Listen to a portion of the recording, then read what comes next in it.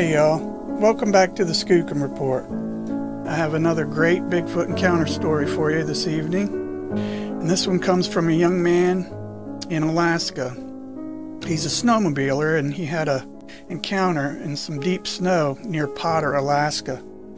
Uh, this all happened in the winter of 2004 in February uh, in Anchorage County and it was up near some power line clearings east of Potter Marsh in Anchorage.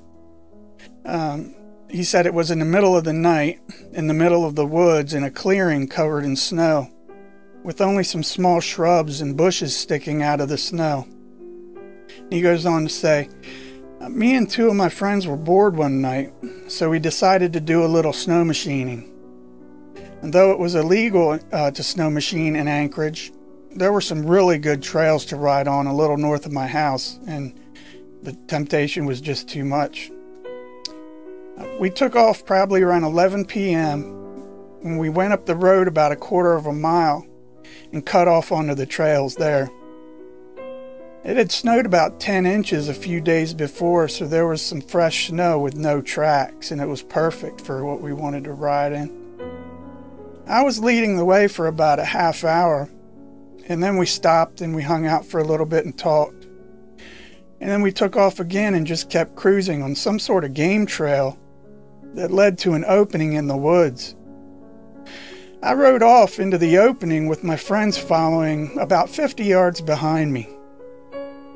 I came over this little mound and I saw these strange tracks leading to this spot in the snow where it looked like something had pushed the snow aside and laid down in it.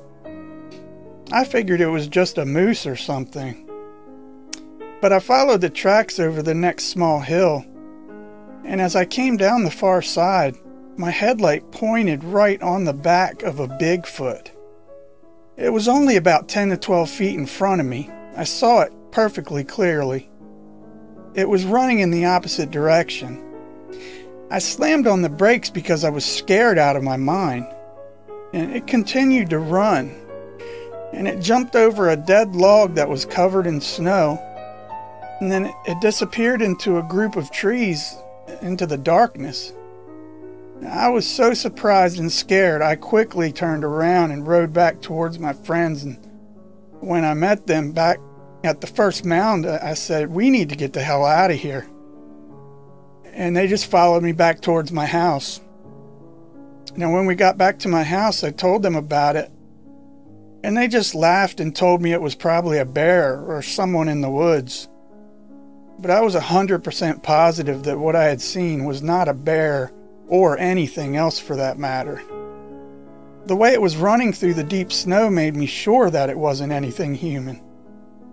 And for a long time, I was made fun of, and everyone told me I was crazy, so I really just didn't like even talking about it. Well, thank you for that encounter story. We appreciate it here at the Skookum Report.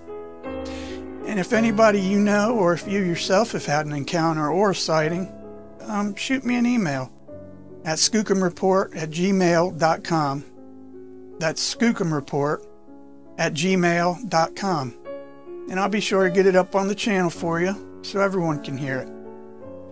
I want to thank you for checking out the Skookum Report again, and I appreciate y'all.